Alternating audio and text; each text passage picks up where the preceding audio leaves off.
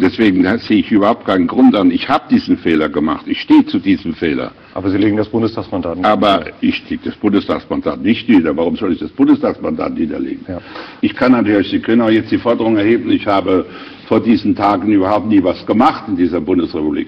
Irgendwie muss man doch mal noch auf die Proportion achten. Was doch jetzt hier gemacht wird, ist doch ein, ein Feldzug, das merken Sie doch bei jeder Frage, ja. die Sie selbst äh, ansprechen, die immer mehr ins Abwegige gerät. Es war die ganze Zeit war die Rede davon, dass 10, 15, einer hat sogar beschrieben, 100 Millionen unsere Kasse gegangen sind mit mir beteiligt. Ja. Und jetzt kommen wir auf eine Zahl, die zwischen 1,5 und 2 Gut. Millionen in sechs Jahren liegt. Das ist ja journalistische Arbeit, auch das Haus Nein, das ist keine Arbeit, das ist bei uns jetzt. Ja. Im nächsten April, Herr Kohl, werden Sie 70. Und im Oktober 2000 erleben wir den 10. Jahrestag der deutschen Einheit. Waren denn diese schwarzen Konten in Ihrer Bilanz die schlimmsten Fehler? Ja, sicher. Es war ein schlimmer Fehler. Es waren ja keine schwarzen Konten. Ich habe keine Konten geführt. Das ist auch so eine Formulierung, die nicht stimmt. Ich habe das Geld, das mir gegeben wurde als Spende, weitergegeben in die, über, über das Adlerhaus in die Schatzmeisterei und in der Schatzmeisterei ist es dann in den normalen Ablauf der Parteifinanzierung reingekommen. Der Vorwurf, der mir zu Recht gemacht wird, ist, dass diese eben erwähnte Summe nicht angegeben wurde, also nicht im Rechenschaftsbericht sich wiederfindet. Und das war mein Fehler und das stehe ich und das schiebe ich auch gar nicht auf andere, das war nie meine Art. Aber das ist eine Seite. Aber ich muss doch nicht deswegen jetzt sagen, ich habe vorher nie in Deutschland gelebt. Es ist doch ziemlich abwegig. Und vor allem weiß ja jeder, ich werde auch an diesem Abend nicht darauf reflektieren, wie Parteifinanzierung anders so geschehen ist. Es wird doch jetzt dieser Vorgang, der zu Recht mir vorgeworfen wird, in einer Weise in einer Dimension gehoben, wir haben ja eben über Summen gesprochen, es wird bezweifelt, dass Regierungshandel korrekt war. Es ist in keinem einzigen Fall ein wirklicher Beweis aufgetreten, aber es wird behauptet, und das Ergebnis ist natürlich auch, dass das Bild eines Mannes ruiniert werden soll. Und die Gefahr besteht ja, Sie haben es eben gesagt, was nun Umfragezahlen betrifft oder solches. Damit muss ich leben, ich muss aber auch weiterleben.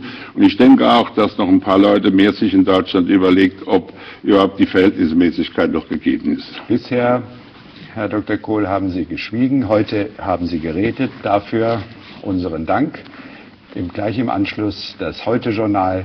Auf Wiedersehen.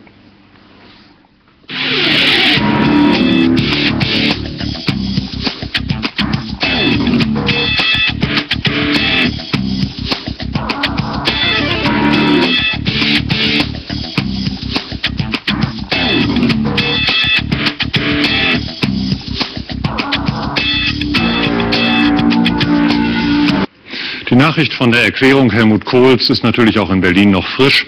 Seine Begründung für die Niederlegung des Ehrenvorsitzes klingt schon bitter. Ich begrüße nun Angela Merkel, die Generalsekretärin der CDU in Berlin. Guten Abend. Guten Abend, Herr Bellut. Frau Merkel, wie kommentieren Sie denn Helmut Kohls Entscheidung und seine Erklärung? Ich bin darüber sehr traurig, denn ich glaube, dass wir doch heute den ganzen Tag über einen unglaublich schwierigen Konflikt für die CDU diskutiert haben. Auf der einen Seite sind wir eine Partei, die die Rechtsstaatlichkeit immer eingehalten hat und weiter einhalten wird. Und auf der anderen Seite gehören 25 Jahre Parteigeschichte mit Helmut Kohl ganz eng zu uns. Und wir mussten uns an dieser Stelle entscheiden. Und wir haben diese Entscheidung nicht damit verbunden, dass Helmut Kohl den Ehrenvorsitz niederlegt, sondern wir haben nur gesagt, er muss als Ehrenvorsitzender aber auch seine Pflichten erfüllen. Und dass er sich dazu nicht in der Lage sieht, ist außerordentlich ja. traurig. Trotz dieser Erklärung können wir weiter feststellen, eine lückenlose Aufklärung über das Finanzgebaren der Partei ist ja immer noch nicht möglich. Täuscht dieser Eindruck? Natürlich ist es nicht möglich, weil wir Gelder unbekannter Herkunft haben und weil zur Herkunft dieser Gelder nur sehr wenige und eben unter anderem auch Helmut Kohl etwas sagen können. Ich bin trotzdem der Meinung, dass wir alles unternehmen werden, dass auch, glaube ich, noch vielleicht manches bekannt wird. Aber politisch ging es doch heute um die Frage, kann die neue Parteiführung, kann mit, der, mit dem Parteivorsitzenden Wolfgang Schäuble es gelingen, Vertrauen, das zerstört wurde, in die Union wieder zurückzugewinnen. Ja. Und da haben wir gesagt, das geht nur, wenn wir uns eindeutig zur Einhaltung von Gesetz und Verfassung bekennen.